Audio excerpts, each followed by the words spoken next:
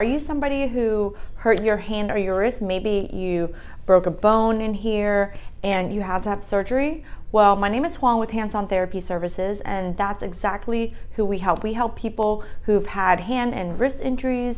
Maybe you broke something, maybe you had surgery. I'm gonna share with you a little story about somebody who um, he fell and he broke his fifth metacarpal, right? So it's this bone right over here, and he had to have surgery. And this is a little clip about um, why the pain doesn't go away. And we think it's just in the hand, but actually can be so much more. So watch this clip. I'm gonna explain a little bit about why it hurts where you wouldn't think it would hurt. I hope you enjoy it. All right, so this is a metacarpal fracture. Come a little closer. Come take a look. So he had a pinning, and a lot of times when there's a metacarpal fracture and it's a uh, shaft or at the base, it's gonna affect the wrist. So his wrist has been hurting, right? And you can see, look at the scar. You go up, you can feel it. It's a little stuck, right? You feel that? And go down. Ooh. You can see and feel that too right there, right? And then we always want to go to the side because scars, the fibers are all, all directions. So you feel that? So I'm gonna just check. You a little sore in there? Yeah, a little sore. And then are you sore right there too? Yeah. So we're gonna play around and check out his wrist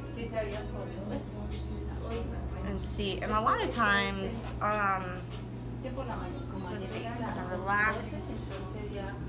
We're gonna check up here. Are you sore? You're not sore? Okay. Pretty good? No? I feel that though. I. No, you can handle it. But is it does it feel like a little tight? Yes. yes okay, because I can is. feel it tight. And he's like, no, I'm good, I'm good. No, no, no. It's because he no, wants because me to I'm keep looking for working pain, on it. for yeah. pain. No, no, no. Yeah. So you're not looking for big pain, sharp pain, or anything like that. Uh, but if your pain is here in your wrist, sometimes the muscles over here are tight because the muscles start at the elbow, Uh-huh.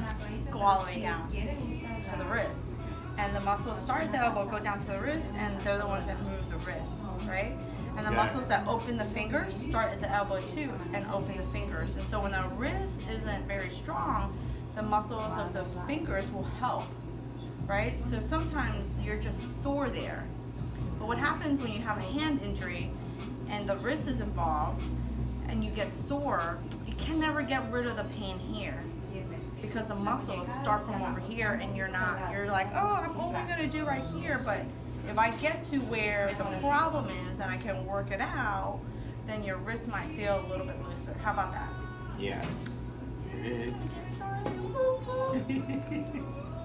So if you are somebody who had that same kind of injury where you broke your hand or you broke your wrist and you're still suffering with some of those aches and pains, well, give us a call here at Hands On Therapy Services. My name is Huang. You can talk to any of our specialists here and they can give you clarity in terms of what might be wrong, why do you still why are you still suffering even though it's been weeks, months and even years, believe it or not. Um, just because you had to have an unfortunate accident or you had surgery to hand and wrist. Okay, so if you are still um, battling and you're like, why am I still being bothered by this?